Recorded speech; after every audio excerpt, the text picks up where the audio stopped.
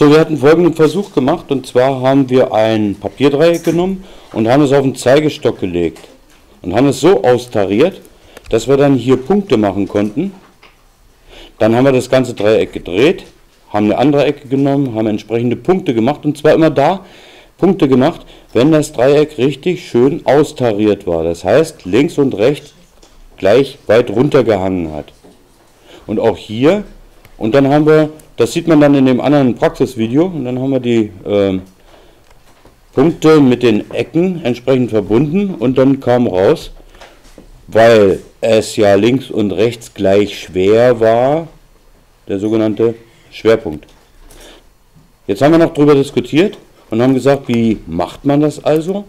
Wenn ich jetzt hier ein beliebiges Dreieck habe, ich male mal eins hin, nehmen wir an so und so und so, also keine Gleichschenklichkeit, kein gar nichts. Hier habe ich es ein bisschen in 3D dargestellt. Jetzt ist das Dreieck von oben, das ist die sogenannte Draufsicht, ne, das machen wir auf dem Papier. Draufsicht. Dann haben wir gesagt, gut, eigentlich ist es ganz einfach, wir müssen bloß folgendes machen.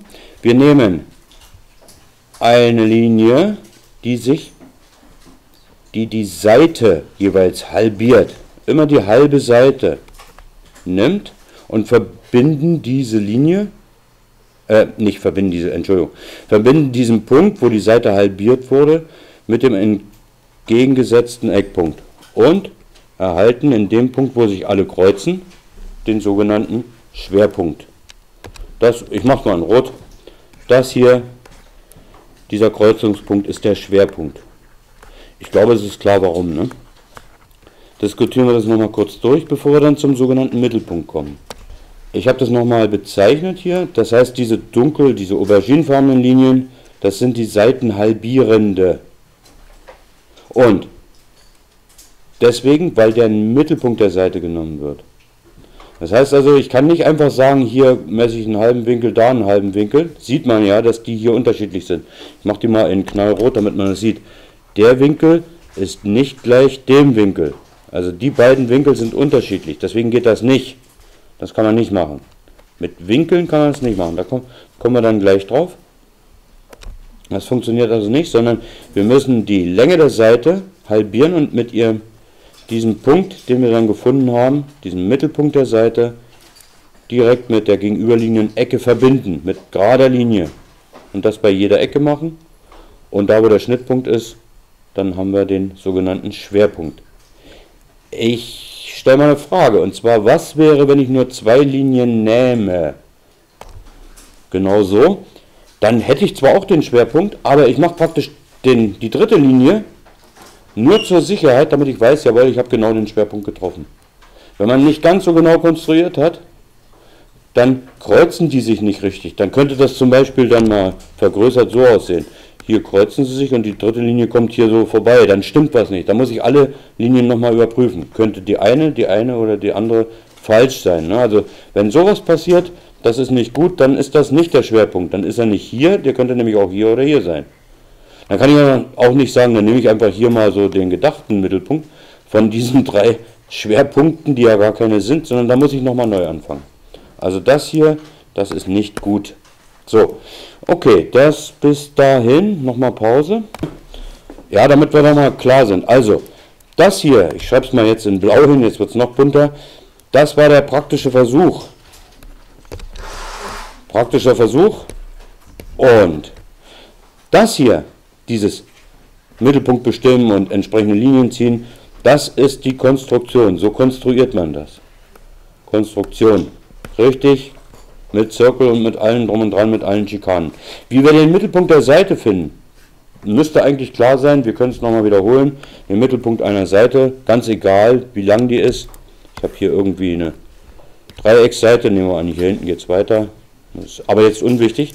Also, ich möchte eine Strecke halbieren dann nehme ich entsprechend in Zirkelspanne etwas mehr als die Mitte und male zwei Halbkreise. Jetzt steche ich hier ein, Halbkreis und verbinde dann und hier ist dann der Mittelpunkt der Seite. Also das ist die übliche Konstruktion mit Zirkel, so kann man ganz egal, ohne zu messen, immer den Mittelpunkt der Seite bestimmen. Das steckt dahinter, den Mittelpunkt der Seite zu finden.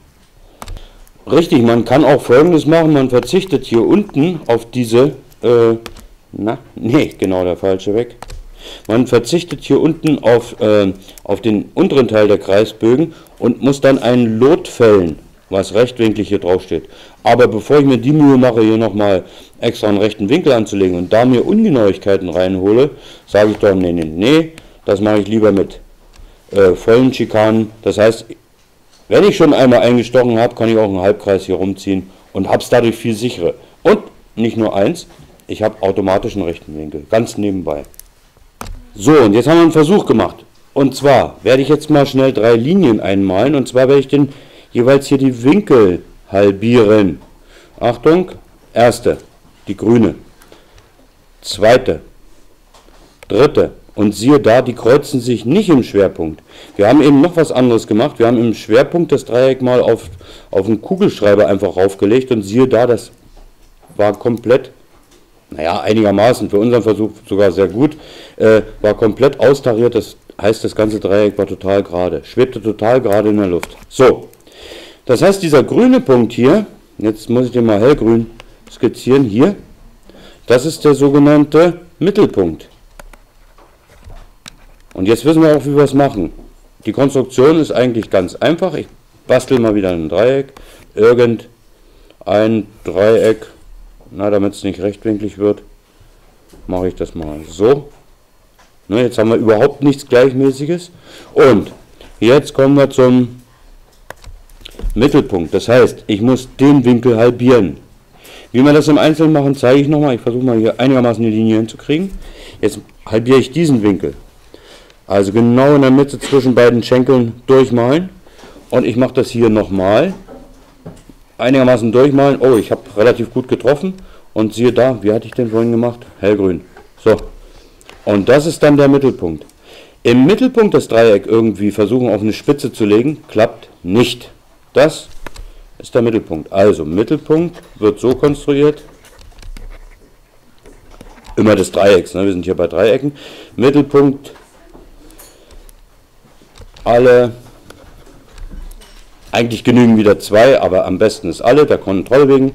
Alle Winkel halbieren. Und dann habe ich den Schnittpunkt. Das ist der Trick, wie man es macht. So, wie baut man, wie macht man eine Winkelhalbierende? Ganz einfach. Ich habe hier jetzt nur einen Winkel, einen Ausschnitt von einem Dreieck. Ich steche mit dem Zirkel hier ein und mache einen Kreisbogen. Wenn ich diesen Kreisbogen gemacht habe, steche ich, jetzt mache ich es mal hier, das wäre der zweite Schritt, steche hier ein, mache einen Kreisbogen. Steche dann hier ein, mache einen Kreisbogen. Und zum Schluss kann ich das hier, na hier sieht man es einigermaßen, kann ich das als Winkelhalbierende bezeichnen. Das heißt, der und der Winkel, die sind beide gleich groß. Der und der sind beide gleich groß. Kleinen Moment. Also jetzt nochmal in Kurzform. Erstens im Scheitelpunkt einstechen. Zweitens im ersten Schnittpunkt einstechen, Bogen machen. Achso, Bogen habe ich vergessen. Plus Bogen. Und hier auch. Dann hier im zweiten Schnittpunkt einstechen, Bogen machen. Auch hier Bogen. Das wäre jetzt die Kurzform. Muss man sich nicht abschreiben. Wenn man das einmal, zweimal gemacht hat, dann weiß man, wie Winkel halbiert werden.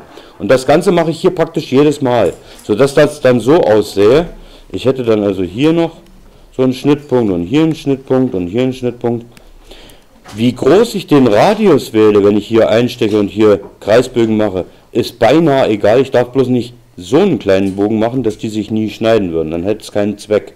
Ich muss die Zirkelspanne so groß machen, dass sich hier auch wirklich entsprechend ein Schnittpunkt bildet. An sich ist es ganz leicht. So, Mittelpunkt. Wir werden jetzt nochmal über den Mittelpunkt und über den Schwerpunkt etwas äh, diskutieren, wozu das alles nützlich ist und was, wozu man das braucht und was man damit machen kann und so weiter. Und dann mache ich das Video nach einigen Fragen dicht. Aber jetzt erstmal kurze Pause. So, wir haben jetzt folgendes gemacht. Wir haben mal gesagt, was ist denn der Mittelpunkt? Jetzt muss man folgendes tun. Und zwar den senkrechten Abstand zu der Seite messen. Also hier senkrecht auf der Seite stehend. Dann ist der Abstand gleich dem Abstand, der muss auch senkrecht gemessen werden, gleich dem Abstand, der ist auch senkrecht. Wie misst man den Abstand eines Punktes zu einer Geraden? Indem man ein Lotfeld, also senkrecht. So, und wie sieht das jetzt mit so einem Geodreieck aus? Das mache ich mal in hellblau oben drüber. Ich lege das Geodreieck so an, dass seine Hilfslinie mit der Seite, diese Mittelhilfslinie, dass die, so liegt mein Geodreieck, hier habe ich meine Winkeleinteilung und so weiter, hier Winkeleinteilung. Und hier ist eine Mittellinie. Und jetzt kann ich loslegen, jetzt liegt die Hilfslinie genau über der zu messenden Seite. Und dann kann ich entsprechend von hier nach hier, jetzt mache ich mal dunkelblau, von hier nach hier diesen Abstand messen. Und das mache ich jetzt mal mit jedem Punkt und siehe da, er hat jedes Mal den Abstand, den senkrechten Abstand dieser Mittelpunkt zur, gegen, zur entsprechenden Seite. So, und das ist der Gedanke des Mittelpunktes. So wird er gemessen. Senkrechter Abstand bedeutet das. Senkrecht und dann geht das los. Also, jetzt fahren wir das ganze Ding so hin. Äh, Moment, ich habe was Falsches gesagt. Klar, Moment.